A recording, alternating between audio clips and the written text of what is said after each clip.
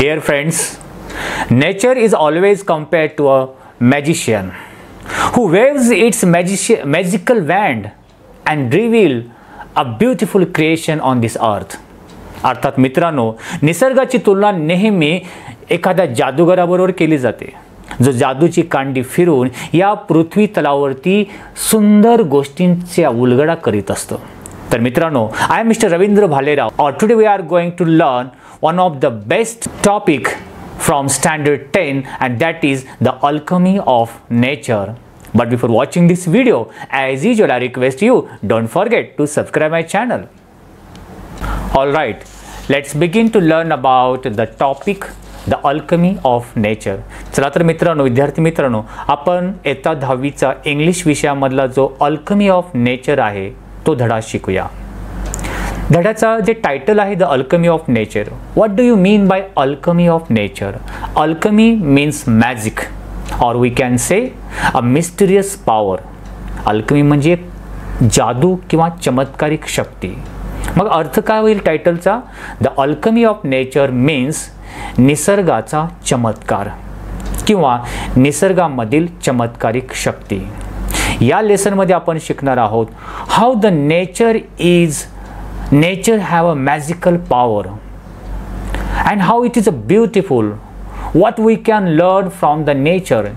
निसर्ग कशा प्रकारे एक सुंदरतेने भरलेला आहे त्याच्यामध्ये एक मिस्टरियस पॉवर किंवा शक्ती कशी आहे चमत्कारिक आणि मानवासाठी ती किती उपयुक्त आहे आणि हा लेसन आपल्या मानवासाठी it is a motivational topic we can say so let's begin हां सुरुवात करण्या अगोदर याच्यामध्ये जे chit chat activities and warming off activities दिलेल्या आहेत I will cover all these activities in English workshop जे ॲक्टिव्हिटीच्या रिलेटेड जी सेपरेट व्हिडिओ बनवलेली आहे इंग्लिश वर्कशॉप आणि चिटचॅट ॲक्टिव्हिटी त्याच्यामध्ये त्या सर्व ॲक्टिव्हिटीज कवर केले आहेत. यामध्ये फक्त आपण लेसन्स कवर अप करणार आहोत ओके लेसनच्या सुरुवातीला there is a one poet and his name is William Blake त्यांनी काही ओळी दिलेल्या आहेत त्या आपण रीड करूया. The lessons begins with the poetic lines of William Blake William ब्लेकच्या लाय ओळींनी ह्या धड्याची सुरुवात होत. And these lines are to see a world in a grain of sand to see म्हणजे पाहणे. वर्ल्ड संपूर्ण जग. A grain of sand a piece of sand वाळूचा कण. अर्थात एका वाळूच्या कणामध्ये सुद्धा संपूर्ण जग बघू शकतो किंवा बघू शकता. And heaven in a wild flower heaven स्वर्ग. वाईल्ड मीन्स जंगली. एखाद्या रानटी फुलामध्ये वाईल्ड फ्लॉवरमध्ये सुद्धा स्वर्गाचा अनुभव तुम्ही घेऊ शकता. One more line is that hold infinity in the palm of your hand hold धरून ठेवणे. इन्फिनिटी अमर्यादित. In the palm of your hand palm of your hand हाताच्या ओंजळीमध्ये अमर्यादित लिमिटलेस अनलिमिटेड गोष्टी आपण होल्ड करून ठेवू शकतो. And last line is that and eternity in a hour एका तासामध्ये इटर्निटी परमनंट ज्याला आपण शाश्वत कायमस्वरूपी काळ शाश्वत काळाचा अनुभव देखील घेऊ शकता. These are very motivational line how the nature is powerful beautiful all right let's begin the first paragraph of this lesson and the line is we instinctively turn out turn to outdoor activities instinctively the meaning is in the margin instinctively means by natural instinct natural म्हणजे naturally सहज प्रवृत्तीने सहजपणे. इन्स्टिंक्टिव्हलीचा अर्थ आपण सहजपणे घेऊ शकतो. We आपण इन्स्टिंक्टिव्हली टर्न टू आपण सहजपणे वळतो. कुठे? आउटडोर ॲक्टिव्हिटीज इनडोर घराच्या आतमध्ये आउटडोर घराच्या बाहेर. म्हणजे घराबाहेर आपण सहज बाहेर पडतो कायमस्वरूपी आपण घरामध्ये बसून राहू शकत नाही. जसे कोरोनाच्या काळामध्ये आपण खूप बोर झालो घरामध्ये बसून. So we we naturally want to go outside that is called outdoor outdoor activities and nature आणि निसर्गामध्ये जातो. And nature as a way of relaxing and enhancing our well being जेव्हा आपण निसर्गामध्ये बाहेर पडतो बाहेर घराच्या बाहेरील ॲक्टिव्हिटीज करतो that time nature is a way of nature एक सोर्स आहे माध्यम आहे. कशाचा? ऑफ रिलॅक्सिंग स्वतःला रिलॅक्सेशन मनाला रिलॅक्सेशन किंवा शांत करण्याचं. ते एक माध्यम आहे निसर्ग आहे. आपण निसर्गामध्ये शांत होऊ शकतो रिलॅक्स होऊ शकतो अँड इनहॅन्सिंग आणि मिळवू शकतो. काय? आवर वेलबिंग वेलबिंग म्हणजे गुड हेल्थ एक निरोगी आरोग्य आपल्याला निसर्गामध्येच well being means a good health healthiness आपल्याला नेचरमध्ये मिळवू शकतो. माइंड रिलॅक्सेशन निसर्गामध्ये मिळवू शकतो. That is why we you we usually want to go want to do outdoor activities म्हणून आपल्याला सहजपणे आपण बाहेरच्या ॲक्टिव्हिटीज किंवा निसर्गामधील ॲक्टिव्हिटीज बाहेर करतो. नेचर आणखी निसर्ग आपल्याला काय काय देतो? इथे नेक्स्ट लाईन्समध्ये सांगितलेलं आहे. नेचर सूज सूद सूज means to make us calm आपल्याला शांत करतो. वेदना जशा शांत होतात वेदना शमतात. सूज means to make it calm शांत. नेचर सूज अँड नर्चर निसर्ग आपल्याला शांत करतो अँड टेक केअर्स आपली काळजी देखील घेतो. As a parents take cares of their kids तशा प्रकारे nature soothes and nurtures mean take cares nature fulfils निसर्ग आपला आपल्या नेचर फुलफिल म्हणजे पूर्ण करतो. What does nature fulfil nature fulfils fulfills desires whatever we want nature gives us जे आपल्याला हवं ते निसर्ग आपल्याला देतो. That is why the writer called nature fulfils and motivates आणि तो नेहमी आपल्याला मोटिवेट करीत असतो एक प्रेरणा देत असतो. So different examples are given in this lesson how the nature motivates us निसर्ग आपल्याला कशा प्रकारे मोटिवेट करतो याची ते एक्झाम्पल दिलेले ते आपण पुढे बघणारच आहोत. नेचर विस्पर्स अँड कमांड्स एवढंच नव्हे तर नेचर आपल्याला nature whispers means talks softly हळूवारपणे आपल्याला बोलतो. Now take the example of birds chirping in nature निसर्गामध्ये पक्षी किलबिलाट करतात. There is a sound of wind वाऱ्याचा आवाज आहे. So all these natural things as a talking soothly softly towards पक्ष्यांचा किलबिलाट वाऱ्याचा आवाज जणू काही आपल्याला आपल्याशी बोलतोय आहे. म्हणजेच लेखक काय बोलतो? Nature whispers nature talks softly to us and commands आणि आपल्याला आज्ञा देखील देतो. So all this things nature provides us ह्या सगळ्या गोष्टी आपल्याशी तो पुरवित असतो देत असतो. आर यू लिसनिंग लेखक शेवटी एक प्रश्न विचारतो. तुम्ही कधी निसर्गाचं ऐकताय? तुम्ही ऐकत आहात का? Are you listening when I do लेखक पुढे बोलतो जेव्हा मी हे ऐकतो वेन आय डू जेव्हा मी ऐकतो it leaves me in a complete awe जेव्हा मी निसर्गाला ऐकतो at means when I experience the nature जेव्हा मी निसर्गाचा अनुभव घेतो that time it leaves me complete awe complete पूर्णपणे. A W O means meaning is given in margin a feeling of respect with wonder awe means एक surprise एक surprise एक आश्चर्याची भावना माझ्या मनामध्ये निर्माण होते निसर्गाबद्दल असा लेखक पुढे बोलतो.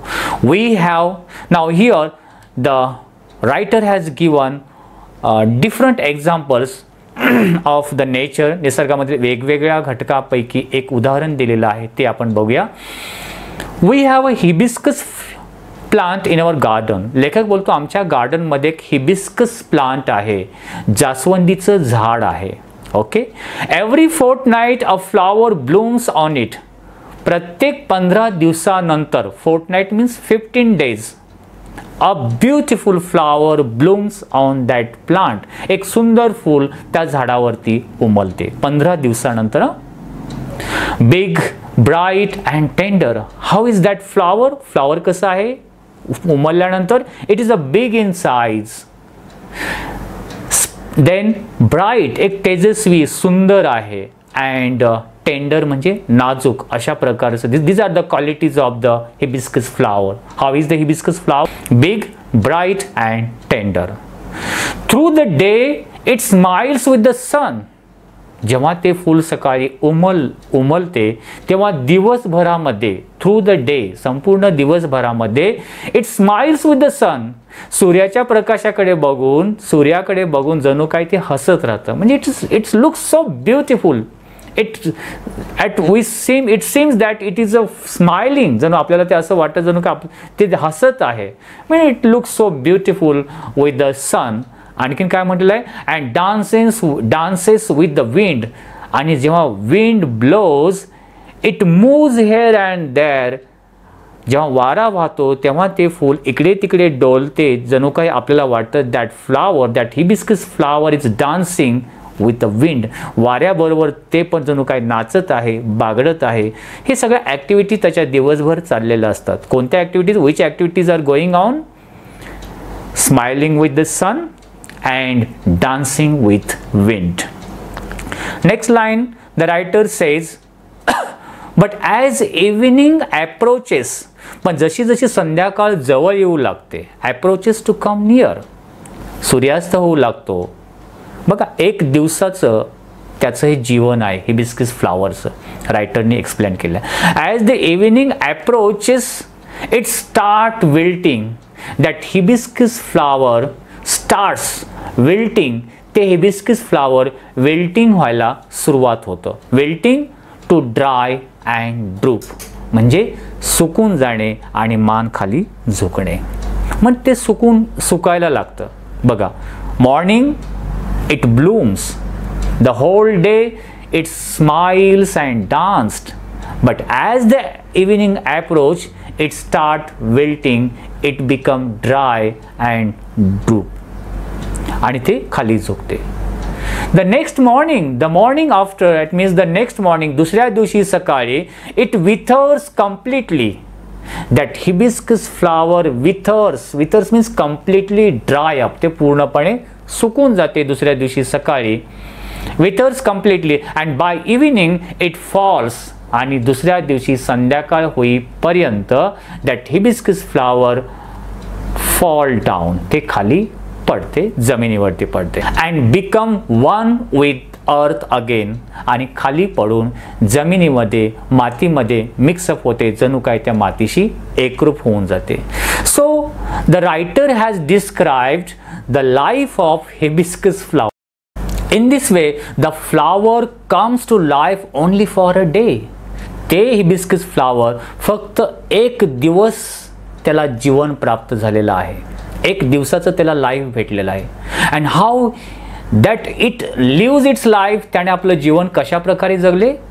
It it does so in full splendour तो फुल कंप्लीट स्प्लेंडरमध्ये कंप्लीट ग्रँड एकदम splendour means a grand appearance म्हणजे फुल ऑफ एन्थुझॅस्टिकली ते आपलं लाईफ त्याने जगलेलं आहे जीवन जगला. What if we too live our life जर आपणही तशा प्रकारे जीवन जगलो तर The writer says, what we learn from this hibiscus flower? The hibiscus flower just get one day life and it lives its life a splendor way beautifully. एवढं सुंदरपणे त्याने आपलं जीवन जगला आपण देखील what if we live our life like a hibiscus त्याच्यासारखं life आपण सुद्धा जगलो तर however short to its fullness जरी आपलं लाईफ शॉर्ट असू दे लाँग असू देत कशाही प्रकार असू देत भले आपण एक one year two year fifty year sixty year maximum hundred years so या पिरियडमध्ये कि कश कोणत्याही प्र कशाही प्रकारचं लाईफ कितीही मिळू देत बट वी शूड आपण त्या हिबिस्किस फ्लावरसारखं फुलपणे स्प्लेंडिड वे जगलो तर. सो दिस क्वेश्चन द पो writer has ask to the रीडरला रीडरसाठी आपल्यासाठी त्याने हा प्रश्न ठेवलेला आहे. In next paragraph we shall begin the next paragraph. One more example the writer has given from the nature. निसर्गातील आणखीन एक उदाहरण लेखक इथे देतो. We went to a rocky beach. आम्ही खडक असलेला एका साईडला भरपूर खडक मोठ्याले खडक असलेला समुद्र किनारी गेलो writer says rocky beach beach म्हणजे समुद्र किनारा अँड सॉ तिथे जाऊन पाहिलं what we saw the spread of majestic ocean त्या एक साईडला रॉक्स आहेत and in front of that beach त्या रॉकच्या समोर भव्य असा मॅजेस्टिक असा ओशन म्हणजे महासागर पसरलेला आहे. And the rocks along side along side in one side rock is that and in another side a splendid a beautiful ocean is spreaded there एक सुंदर असा भव्य असा सुंदर महासागर तिथे पसरलेला आम्ही पाहिला. अँड पुढे लेखक काय बोलतो? द रॉक जे एका साईडला हो उभे होते. ते कसे दिसत होते? कार. जणू काय त्यांचं कोरीव काम केले सारखे त्यात कार. कार म्हणजे कोरीव केलेलं. ते रॉ रॉक्स किंवा खडक दिसत होते. कार अँड स्कल्प्टेड जशा प्रकारे एखादी मूर्ती स्कल्प्टेड म्हणजे शिल्प कोरीव काम करून जे शिल्प तयार केले जाते. शिल्प कलाकृती. That type of the rocks were looking rocks दिसत होते. And shaped by the water आणि हे सगळे sculpted and carved this type of shape हा जो वेगवेगळा आकार त्या रॉकला खडकाला मिळाला होता कशामुळे? ओनली बिकॉज ऑफ वॉटर पाण्याने हा सर्व आकार त्या रॉकला निर्माण करून दिलेला होता. वॉटर आता बघा how the water is given shape to the rock if we compare the water with rock तर लेखक बोलतो वॉटर इज सो जेंटल पाणी खूप नाजूक असते. व्हेरी सॉफ्ट जंटल रफनेस काहीच नाही पाण्यामध्ये. रॉक रॉकची फीचर्स काय? रॉक इज सो हार्ड तो खूप हार्ड आहे टफ आहे कडक आहे. एट तरीसुद्धा वॉटर सॉफ्ट आहे. Water is a soft gentle rock is hard yet म्हणजे तरीसुद्धा as the water flows over it every day समुद्राच्या लाटा every day that water the waves of the water waves of the sea ocean hit on the water त्या रॉकवरती दररोज येऊन आदळतात. आणि त्यामुळे काय होतं? फॉर इयर्स कित्येक वर्ष the rock gives in the rock gives in means rock started to change its shape त्या खडकामध्ये खडकसुद्धा स्वतःचा आकार बदलायला सुरुवात करतो. कशामुळे? The continuous hitting of the water पाण्याचा कंटिन्युअस त्याच्यावरती हिट झाल्यामुळे तो सुद्धा पाण्यासमोर सरेंडर होतो आणि आपला आकार बदलतो आणि आकार स्वतःच्या मर्जीनुसार बदलत नाही आहे but the shape changes it take the shape that water commands म्हणजे वॉटरला पाण्याला ज्याप्रमाणे आकार पाहिजे. तशा प्रकारचा shape what that rock changes रॉकचा बदलतो. म्हणजे इथे काय शिकलो आपण? इथे लेखक पुढे असं बोलतो our problems are so colossal आपल्या मानवी जीवनामधले आपले प्रॉब्लेमसुद्धा त्या खडकासारखे खूप बिग आहेत कलोजल आहेत. Colossal means extremely large very big खूप मोठे आहेत. असं वाटतं की ते problem we can not solve जसं की रॉकला बघितल्यानंतर रॉक पाणी रॉकला आकार चेंज करू शकत नाही. तसे problems are compare to rock आपले प्रॉब्लेम त्या रॉकबरोबर काय केले? आहेत तुलना केलेली आहेत. जसं रॉक हार्ड आहे तशा प्रकारे आपले problems very colossal means huge आहेत बिग आहेत. And we are so small आणि त्या प्रॉब्लेमच्या समोर आपल्याला असं वाटतं आपण काहीच नाही आपण खूप छोटे आहोत. Our problems are so colossal and we are so small yet if we persist पण तरीसुद्धा इफ वी पर्सिस्ट जर आपण चिकाटीने त्या प्रॉब्लेमला फेस करीत राहिलो आपण आपलं काम करीत राहिलो ज्याप्रमाणे the water continuously years and years long continuously hitting on the rock तशा प्रकारे आपण देखील कंटिन्युअसली पर्सिस्टिली चिकाटीने इफ यू वर्क आव if you do our work तर आपण आपलं काम केलं तर वी टू आपण सुद्धा can face the problem can find out the solution आपण ते प्रॉब्लेमवरती मात करू शकतो असं इथे लेखकाला म्हणायचं आहे. होऊ शकतं. So friends I hope you might have like this video if you like it please share it if you have any suggestions for me please write in comment box wish you good day take care thank you very much